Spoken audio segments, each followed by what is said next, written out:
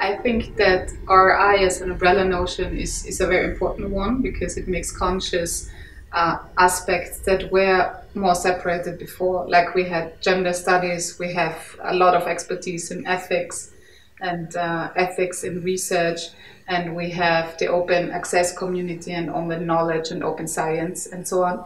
And so in the RI uh, notion, all these different aspects come together and, and make you reflect about how you could implement uh, even more aspects to be responsible and to work with and for society.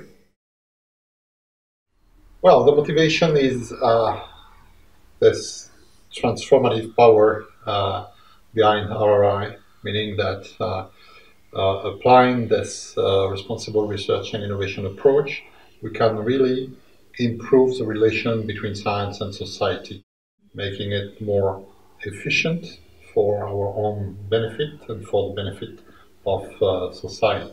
So it's kind of a win-win situation between science and society through um, applying uh, principles, let's say, of uh, RRI about uh, engaging the public in science or uh, making sure that there is a gender equality or accessibility to research results, uh, science education, uh, and so on and so forth.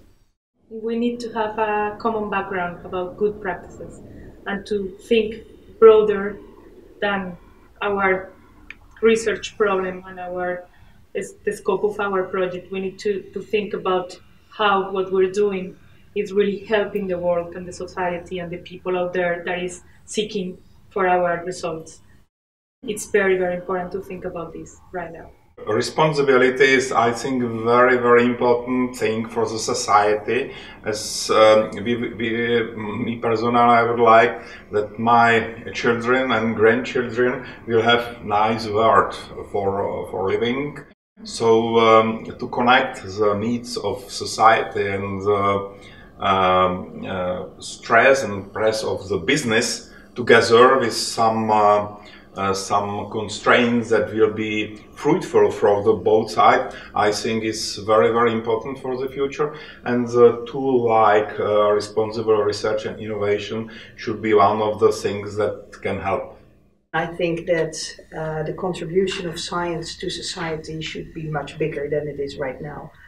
Um, say science uh, and technology have uh, an impact in our daily life um, and responsible research and innovation is uh, the idea that uh, uh, citizens uh, and scientists should engage uh, in a dialogue where citizens can have a say, in fact, on, on scientific and innovation matters. And it's very important for, for the future of our democracy. How do we really can get to the authentic dialogue within different kind of stakeholders?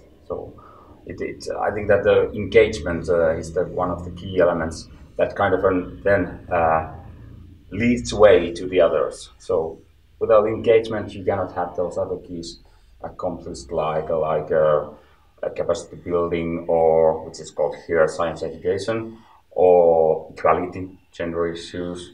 So yeah, I think it's a great approach, great concept to really to take into account. It's kind of a more broad responsibility in research and innovation. Society has to decide what kind of innovation it wants to have, especially if it comes to digitalization. We have a, a strong need to think about what we want to do and what we want to research in. I humbly think that RRI is a paradigm shift because um, well, you can, you can, of course, you can trace the origins of uh, RRI in technology assessment, STS studies, um, and so on and so forth.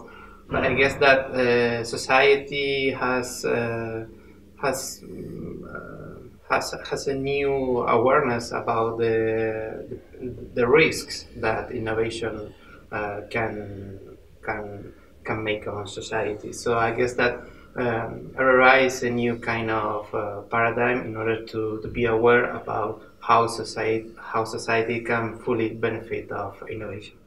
The more I'm getting into the subject, the more I see that it's really worth it and that it's really a concept pointing towards the future. and it's doing that in a fashion that is really oriented towards diversity and towards utopist views of what the future could look like. My personal motivation is the, is, uh, what I can observe around me, which is that uh, science is disconnected with society, maybe. Uh, I don't know if it was connected at some point, maybe it was more, but uh, it's a part of of, uh, of culture, of, of, of every, everything which is around us. And, uh, and you could see, even in, in recent events, that there, are, there is a mistrust in, in science and uh, in, in what, the produce, what we produce, the, the innovations we produce, and we have to, to link this again.